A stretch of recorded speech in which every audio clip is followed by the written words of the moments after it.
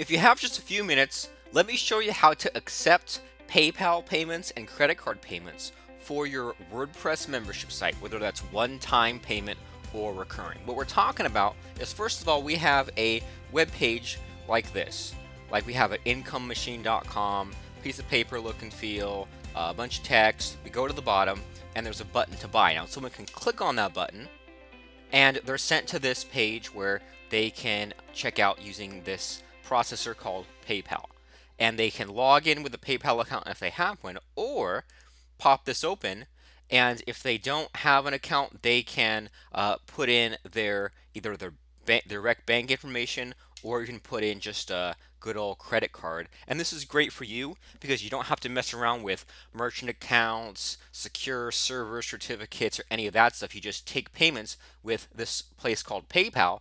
And then after someone checks out, then they're in this protected download area like this where they can log in and log out at any time. And if they ever refund or cancel, then their account no longer functions. They can no longer log in.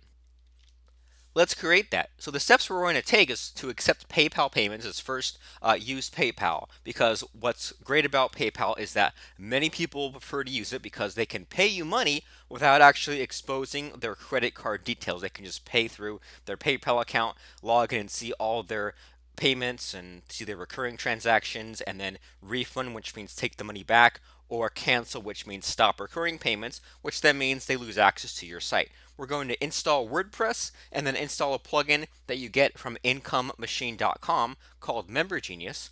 We make sure to get a PayPal business account. We add content and protect it, create a test user to make sure everything functions properly, and then hook up PayPal. We go to our MemberGenius plugin and the payments tab and we just go down through a list to set certain settings in PayPal, to set a thing called an identity token, and then to create a special button that we place on a sales letter on a web page. After someone pays us money, then they'll have access. And if they refund, then they'll lose their access. I'm going to show you how to do this with a one-time payment, which is called a buy now button in PayPal, or even with a recurring payments, which PayPal calls a subscription button. We'll set up a new site. Right now we have a .com registered at membershipnewbie.com and then we have web hosting for that. So I'll go real quickly and set up a WordPress site in a couple seconds. If you already have WordPress, hang tight with me. This will literally only take a minute. We're going to log into our site slash cPanel. Once we're logged in, scroll down to quick install. Install WordPress. Install WordPress We'll put this on our membership newbie site and we'll put the members area in our members folder. And then this is the part that will be different. Put in your own email address, name of your site. For the username, I put in my first and last name with no spaces. Tell it my first name, tell it my last name. Uh, now it says your installation is complete. View this. So I'll double click, right click and copy my password, left click on that, and now we have a WordPress site up and running. That's great we're logged in here and uh, now this is a place where we can add content and protect content and all kinds of crazy stuff. Great. Let's then install the Member Genius plugin. The place to get that is to join our course at incomemachine.com. This includes training on how to make a sales letter, how to make a membership site, all kinds of good stuff. It's an all-in-one course either pay it all up front or pay it in installments. Once you click on whichever button you want, they both take you to the same place. They take you to a members area where you now have access to the software. The software is called Paper Template. We go and click on that and it gives us a couple pieces of information. So keep this tab open for the time being. This is the Paper Template plugin. So right click and save link as. Actually not Paper Template. We want Member Genius. I'm sorry. Paper Template allows you to make a sales letter but we want MemberGenius instead to host the membership site. So here we go, MemberGenius, right click and save link as, put it on the desktop. Now it's saved to the desktop. This is a WordPress plugin that we'll install in a second. And there's a three-step process to install that. Now we're in our membership newbie.com site. I'm going to close down Income Machine because we don't need it anymore. And then, actually, I do need it. Crap. No big deal. Still logged in. We go to plugins, add new, upload plugin, choose file, find the Member Genius plugin, click install now. It's there, activate the plugin, go and find Member Genius, and it fills in our stuff. That's why I wanted to keep this tab open because if the tab's open, then it will be able to fill everything else in. Save Member Genius key as it says, and here is our Member Genius dashboard. This is where we can see the members we have and things like that. And if we look at our site now, we can see all kinds of content. If we click on log out, give it a second, now we're logged out. Now we can't see that content anymore. And now I, I'm glad I left this tab open because I need that to log back in. Now we have the beginnings of a membership site. What we can do at this point is say I want to add a new post and I'll make this module 1 in my post module 1 content. Allow access to members only on the full level. Publish that thing. And you know we could add more content and stuff like that but for now you get the idea. We have posts in our site. If someone is a member they can see them. If someone is not a member they cannot see them so we've added content and protected it on a level called full. We go to Member Genius Levels, and we have a level here called the full level. We go to the Content tab, and we can see that we are managing the full level, and someone on the full level can see the Hello World post and the Module 1 post. Test this out even more, we can go to Members, Add New Member, and I'll think of a username for this person member or incomemachine.com and we'll figure out a name for this person. Great, got that on the first try. And if we open this in a new incognito window, we can see membergenius.com. Actually, let me go to the front page there. So the front page, we're leaving that open so that we can have a sales letter or pitch page or landing page there. Go to the members folder and it asks us to log in and we can log in as that member that we just created and now that member logged in and notice how they they can't change anything in the site. They can't log in and add content or anything like that but when they log in they can view the content that we have created. Just to recap so far we've installed WordPress and the Member Genius plugin. We've added content and protected it on the full level. We've created a test user on the full level to log in and try it out. Now here comes the fun part. We will configure PayPal. We will set a thing called an identity token and then create a button to place on a web page. Let's do it. The page we're looking at right here, this is just to open our test user. So I'm going to close down this whole window. And now we're still changing the membership newbie settings, the member genius settings. We'll go to payments and we want to create a PayPal button and we just go down through the steps. You get a PayPal account and we require you to have a PayPal business account. If you have just a personal one, uh, there's a special link you can click and upgrade it. It's free. The only catch is that PayPal takes a percentage of your sales. What we'll do is we'll log in and go to Profile, My Selling Tools, Selling Online, Website Preferences, and go and follow the steps. Okay, we'll set this thing called Auto Return to on, this Payment Data Transfer to on, uh, and then turn on instant payment notifications. So there's this first section where we only have to do this once and then in the future whenever we create PayPal buttons we uh, can skip this step. Then following the instructions, we just click the head icon and choose profile and settings. That takes us to this page. We click on my selling tools and then we want website preferences. So over here, website preferences, click update. Where it says auto return, be sure this is set to on and then return URL. It doesn't matter what website this is, it just has to be one of your websites. So we already have this set to one of our websites. Be sure to click save on this page and once you do this other area will appear and then you'll see this payment data transfer and set this to on and then there's a special code called an identity token that's down below here I've hidden it from you uh, but you're going to want to click hold down and highlight it right click and copy, and then we'll have a special place in member genius to paste that in. So we're just going through the instructions and it might seem like a, a, lot of small steps, but it's fine. We're just doing as it says. So now that we've saved all that and we've set the uh, receive messages and everything, uh, now we are still in this area, grab the identity token and then paste it right in here in this PDT identity token area and click save PTD identity token. So I realized I had to go through a couple steps, but now you're going to be finishing up and creating the button in PayPal. We are going to go to the Tools tab, PayPal buttons, create a button, and then create new button. We'll create a Buy Now button, and then under item name, enter the name of our site, which this product is Membership Newbie. Under the item ID, enter this exact number so that way you don't have to think about it, just enter the number we tell you enter a price such as $10 and then we're going to set the final settings, the final fields. So we need to look for Tools, PayPal buttons. Tools, I guess they changed it again, All Tools.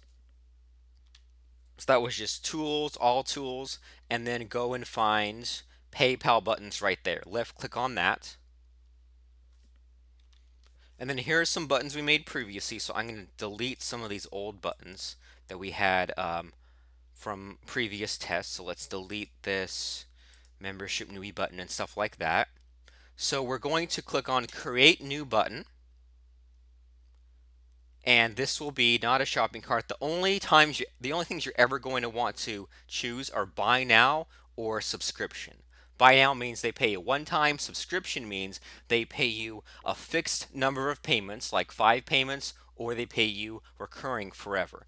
Buy now button. Item name, you can make this whatever you want. So the site name of our site is Membership Newbie. Item ID, this must be the number we give you.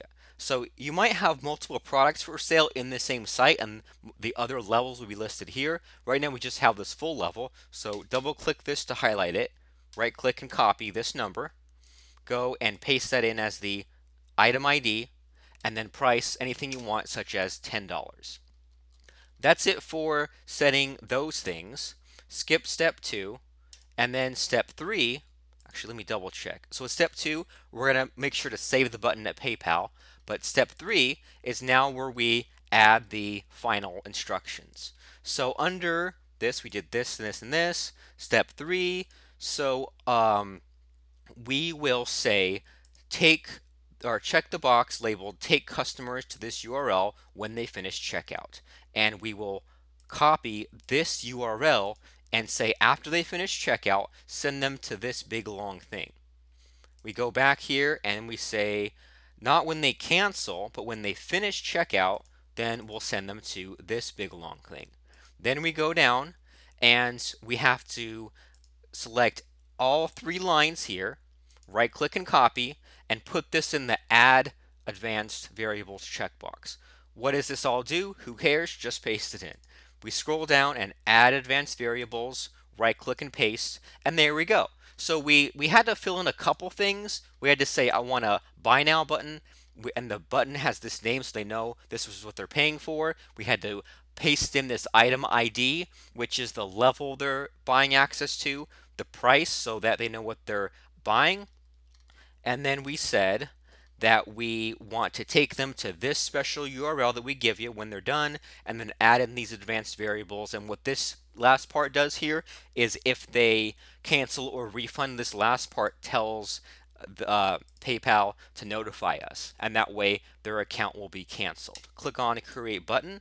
And now you have this button ooh, but we don't want all this crazy stuff. Well, I like to left click and grab this email link instead. So this way we can use this any place we want. Right click and copy. And now wherever you place this link, this is the button or the link someone will click on in order to pay you money. Now in Income Machine, we give you a plugin called Paper Template, but we don't really have time right now to set up all that stuff. So I'm just going to make things really super simple. We're going to go to our control panel again and then go and browse to the file manager. And so you see we have this members folder. This is where the membership site is set up. But let's make a page just on the front page of our site. Click New File. We'll name this index.html, create new file, left click on this, click on HTML editor, and then we will click edit. And this is kind of like a Word document. And here we can say um, headline goes here. We can say subheadline goes there. We can say uh, let me explain the course you're about to buy, dot, dot, dot. We can make some bullet points here and say bullet one, bullet two, bullet three. And then we can even say buy now and um, I guess highlight all this and center everything. And then for the buy now part of it, actually I don't like these bullet points then, we'll just have it like that. For the buy now part of it, let's make it a link. So click on this link right there and we will paste that in. And we want we want to make this HTTP okay cool. Made it HTTPS for us. And uh, great. So we click on OK and now we have a link. And if we uh, do a control A and highlight every everything on the page we can say let's make this uh, Arial font let's make this a uh, heading 1 let's make this a heading 2 2. Okay, let's make this heading 2. Is there a way to make it like a red color? Here we go, text color. So make it like a red right there and make the buy now button be big and bold, just like a Word document. So now it's kind of coming together. We click on save and this will get us done for the moment. If we're in a rush, only have a couple minutes, making a quick down and dirty page right here will get us by, at least until we have time to install the paper template plugin. Now, when I go to membershipnewbie.com, well, here we go. We've got a headline, subheadline stuff, and then we have a buy now button here. And the buy now button, if we click on it, well, look what it does. It says we're going to pay Double Agent Marketing LLC, membership newbie, and all that stuff. So right now, you have a functioning sales letter, and you can click on a link, and then someone, after clicking on the link, can then get access to your Member Genius plugin, which runs this membership newbie site. We could stop here, but maybe you want me to test the button. That's easy. What we want to do is, let's do a couple things. Click, go back to edit this button and we will edit the button and we will change the price temporarily to 0.01. What's great about having the button hosted in PayPal is you don't have to go back and edit your web page. You can just say a one cent button in PayPal, go here and save the changes. Whoops, and it needs a, what does that even mean? Email address. Uh, let me try saving the changes again. Oh, so PayPal's doing something weird. So let me just go uh, back and... Oh, you know what happened actually? Because I clicked and tested the button, it logged me out of PayPal. So allow me to log back in. Now that we're logged in again, go to Tools, All Tools, scroll down and find PayPal buttons again. And now we're here and now this is the button that we just created that even shows us the date we created so we make sure it's the right one. Go to action edit button and once this loads we can change this once again to 0.01 just one penny. Click save changes and let's test the button. So I'm going mm, to make sure that I'm let me think here. I'm gonna need to log out of my account so I'll close down um, all these tabs and I'll even log out of the membership site completely. Great. Now I'll go to membershipnewbie.com. Here's the headline. Here's the link to click and buy now. So we can left click and buy. And if we set the button correctly, let me even close PayPal, now we're paying one penny. Now this is the time when, because you can't pay yourself, you can pay yourself from a personal PayPal account into the business PayPal account or get a friend to pay for you. But you're going to check out, I'm going to fill in my details and I'm going to pay one penny into uh, my business PayPal account. Click on pay now. Wait a second for that. And here we go, here's the registration page. If you don't like the look of this registration page, I kind of don't, you can change the theme of your membership site. But for now, let's just make sure it works. I, I, really regret not changing the theme, but if you change your theme, for example, to say like the 2012 theme, this will look a little bit better. But we know that, okay, it took us to this page and it already pre-filled out these details. And if these details are different for uh, our members, so we can say maybe like Lance Tomashiro bought access instead, then they can enter in or correct the information that PayPal already gave us. And we can put in a password right here and enter it again. Click on submit registration. And now we, now we're here. Now we have access to see module 1 and that's the only thing we set up but now this Lance Tomashiro character here now they uh, can see what it is they just bought access to now we can uh, actually so now let me log out and log back in as this guy here we can click on member genius and then see that we have now this Lance Tomashiro person uh, registered 72 seconds ago. Cool. And we can look, look at the members and see here Lance Tomashiro is here as well. Now let's test and make sure that if Lance refunds or we give him a refund through PayPal, then it will revoke his access. We logged into PayPal and looked at our recent sales and found this one cent sale click on issue a refund and this will give this person their money back. So left click and issue a refund for one penny, click continue, issue refund, and so it's this 2NB transaction. It's it's done. It's sent. It might take a minute or two for everything to get caught up. Uh, so this 2NB transaction here in a minute here, I might have to wait uh, but eventually, once we look at this, there we go. I refreshed it enough times, so that took what, maybe five, ten seconds to reach our server. Now, this full level is crossed out, it's in red, and so this means that this person still has an account with us. We can still have that record that they paid us money, but the thing they paid access to, that access is now gone. And if we ever want to, for whatever reason, let this person back in, we can check their name, choose the full level, and uncancel from the level, and then it will undo this crossed out thing. Or we can even find someone uh, who we manually made an account for, check the box next to their name, and choose full cancel from that level. Or even delete them completely by saying delete member, remove from level, all that kind of stuff. So that is how we create a payment button and take single one-time payments on our memberships.